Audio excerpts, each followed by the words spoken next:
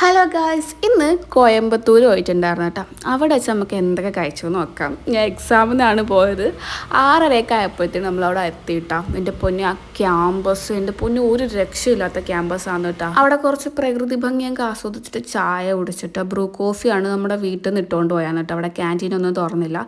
പിന്നെ കുറേ നേരം ഞാൻ അവിടെ ചുറ്റിക്കണ്ട് സെറ്റ് ക്യാമ്പസ് ആയിരുന്നു. ഞാൻ ഇതിന് മുന്നേ ഇത് ഇവിടെ വന്നിട്ടുണ്ട്. ഒരു വട്ടം ഈ എക്സാം എഴുതി ബോധിച്ചാണ് എനിക്ക്. പിന്നെ സെറ്റ് ഗ്രൗണ്ട് അല്ല. ഞാനൊക്കെ പഠിച്ചൊരു ക്യാമ്പസ്. ആ ഇനി പറഞ്ഞിട്ട് കാര്യമില്ല. കേസ് എല്ലാം കഴിഞ്ഞു. പിന്നെ എനിക്കൊരു ഒമ്പത് നാൽപ്പത്തഞ്ചായപ്പോൾ എക്സാം ഇടായിരുന്നു. പിള്ളേരൊക്കെ ഭയങ്കര ടെൻഷനായിരുന്നു എനിക്ക് വലിയ ടെൻഷനൊന്നും ഇല്ലായിരുന്നു. ഇറങ്ങി വന്നപ്പോൾ സമൂസ അയച്ചു. പിന്നെ ഒരു ചേട്ടൻ അവിടെ പാനിപ്പൂരി വെക്കുന്നുണ്ടായിരുന്നു. പാനിപ്പൂരി മേടിച്ച് കഴിച്ചിട്ടാ. സമൂസ സെറ്റായിരുന്നു പാനിപ്പൂരി അത്ര കൊള്ളത്തില്ല. തിരിച്ച് ട്രെയിനിലാണ് പോവേണ്ടത് അതിന്റെ എല്ലാ പേടിയും എന്റെ മനസ്സിൽ കിടന്നാടുന്നുണ്ട് എന്നാലും ഞാൻ അത് കുടിച്ചിട്ടാ. പാനിപ്പൂരിയും ആ വെള്ളവും ഞാൻ കുടിച്ചിട്ടുണ്ടായിരുന്നു. പിന്നെ നമ്മൾ റെയിൽവേ സ്റ്റേഷനിൽ എത്തിയിട്ടാണ് എല്ലാം ടപ്പനെയാണ്. രാവിലെ ആറരയ്ക്ക് വന്നു എക്സാം എഴുതുന്നു.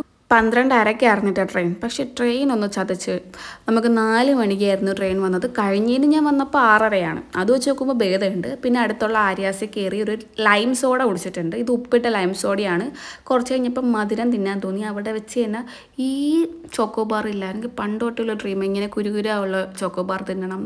നല്ലയായിരുന്നു കേട്ടോ ഇതിന്റെ അകത്ത് മൂന്ന് ലെയറുണ്ട് ആദ്യം ചോക്ലേറ്റ് അകത്ത് ഐസ്ക്രീം വീണ്ടും ചോക്ലേറ്റ് എനിക്ക് ഇഷ്ടപ്പെട്ടു കേട്ടോ വീണ്ടും കഴിക്കണം എന്നുണ്ടായിരുന്നു പിന്നെ എന്റെ വയറ് പണി മുടക്കുമോ എന്നുള്ളതുകൊണ്ട് ഞാനൊന്നും കഴിച്ചില്ല. ആര്യാസിൽ നിന്ന് തന്നെ നമ്മൾ മസാല ദോശ പാഴ്സൽ മേടിച്ചിട്ടുണ്ടായിരുന്നു. നമ്മൾ വടയും പറഞ്ഞിട്ടുണ്ടായിരുന്നു. അവന്മാർ വട തന്നില്ല ഗൈസ് പറ്റിച്ച്. പിന്നെ മസാല ദോശ ഒരു രക്ഷയില്ലായിരുന്നു കേട്ടോ. അവിടെ വെച്ച് കഴിച്ചിരുന്നെങ്കിൽ ഇച്ചിരി ക്രിസ്പി ആയിട്ട് കിട്ടിയേനെ. പക്ഷേ കഴിച്ചില്ല. നമ്മൾ സമൂസയൊക്കെ കഴിച്ച് വയറ് ഭയങ്കര ഫില്ലായിരുന്നു.